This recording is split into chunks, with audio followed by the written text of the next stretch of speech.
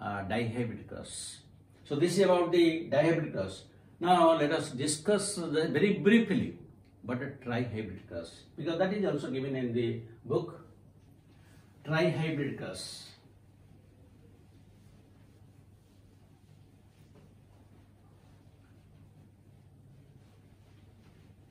So in case of trihybrid cross, he took three characters at a time. I will explain it a very easy method so that easily you can understand the things.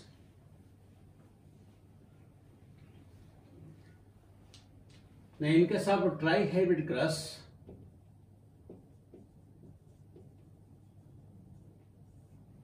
suppose uh, he took three charac- uh, three pairs of characters. Suppose in one case it is uh, T T R R Y Y. That means the plant is tall with round and yellow seeds. It is crossed with uh, dwarf, wrinkled and green seeds. Then the F1 hybrid will be capital T small t, capital R small r and capital Y small y. This is the F1 hybrid. So this plant will be tall with round and yellow seeds. Now in the F2 generation, how many gametes will be produced and how many plants will be produced, that is important uh, from examination point of view. And uh, what are the different types of gametes? Sometimes student commit mistake here. So I will tell you very easy technique by which you can do it. Now when you are you have to find out the gametes. Just you apply the binomial formula or you can uh, dichotomous branching, you can do the dichotomous branching. So how the gametes? First is capital T, small t. Then in the capital T, here there will be two types, capital R, small r, and here also there will be capital R, small r. Then next is Y. The, uh, this will be also capital Y, small y. Small r has capital Y, small y. Then capital R has uh, capital Y, small y. And small r has capital Y, small y. So you see how many types are there? Two, four, six, eight. Eight types. That means in the case of a trihybrid cross, the gametes will be of eight types. So when eight types in the male side and female side also eight types of eggs will be there. So in the checkerboard in the Punnett square, how many types of plants will be there? There will be 64 plants, 8 into 8.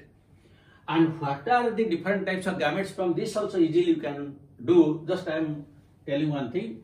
Capital T, capital R, capital Y. Capital T, capital R, capital Y. Then capital T, capital R, small y. Capital T, capital R, small y. Two types. Similar in this case. In this case, capital uh, capital T, small r, capital Y. Then capital T, small r, small y.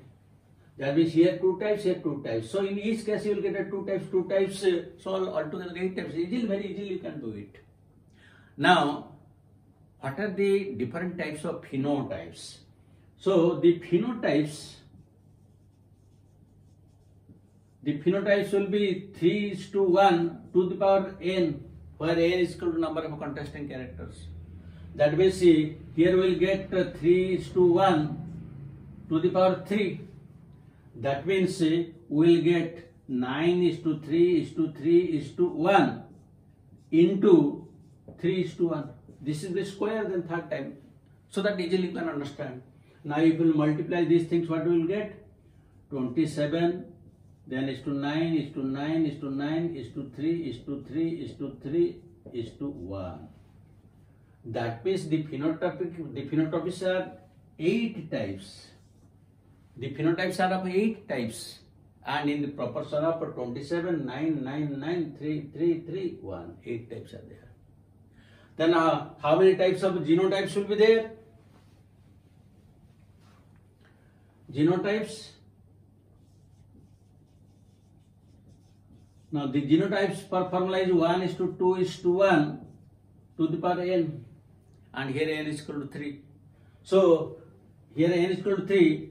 If it will be square, then it will be 1 is to 2 is to 1, 2 is to 4 is to 2 is to 1 is to 2 is to 1. Now this will be multiplied by 1 is to 2 is to 1. So this is 9 and again it will multiply uh, with a 3 with it 1 again 2 then uh, 1. So how many types? 27 types. If you will write it, it will take time but still uh, if you want I can write it. It will be 1 if you will multiply this with 1 then it will be 1 I am writing here in the top so that easily you can understand. I am writing it in the top. Now if it is multiplied with 1, it will give rise to 1 is to 2 is to 1, then 2 is to 4 is to 2, then 1 is to 2 is to 1. Multiplied with 1. Then let us multiply with 2. So when we multiply with 2, this will be uh, 2 is to 4 is to 2 is to 4 is to 8 is to 4 is to 2 is to 4 is to 2. Then again multiply with 1. That means the first line. Again 1 is to 2 is to 1 is to 2 is to 4 is to 2 is to 1 is to 2 is to 1. So altogether how many types? 27 types. So very easily you can remember this thing. What is the what are the uh, how many types of phenotypes in case of trihybrids? What are the different types of genotypes? All these things easily you can answer only if you have some idea. And by applying this dichotomy branching, any type of uh, gametes uh, you can easily see whether it is the right gamete or not. So this is a, what is dihybridous and trihybridous. Now let us discuss questions.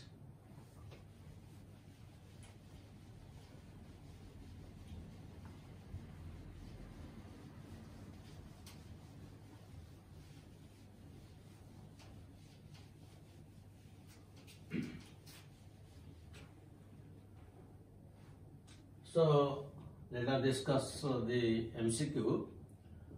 Now number one, if two tall plants, if two tall plants, both with the round seeds, we are crushed, crushed, which of these which of which of the which of the following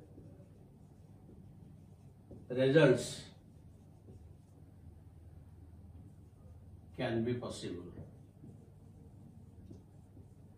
if two tall plants both with round seeds both the plants are tall both the plants have round seeds if they will be crossed what is the possible result now one choice we can write uh, 9 is to 3 is to 3 is to 1. The second choice is 3 is to 1. The third choice is uh, all tall and round seeded. And the fourth choice is any of these three possible. This is a very good question. Now come to the second question. The F2 progeny of a typical dihybrid cross in Mendel's experiments in Mendel's experiments shows single dominant and single recessive phenotypes in the proportion of in the proportion of one choice 3 by 16 is is to 3 by 16 Second choice 6 by 16 is to 6 by 16. Third choice 9 by 16 is to 3 by 16. And the fourth choice 9 by 16 is to 7 by 16. This is also a very interesting question and uh, you can answer if you uh, think for a moment.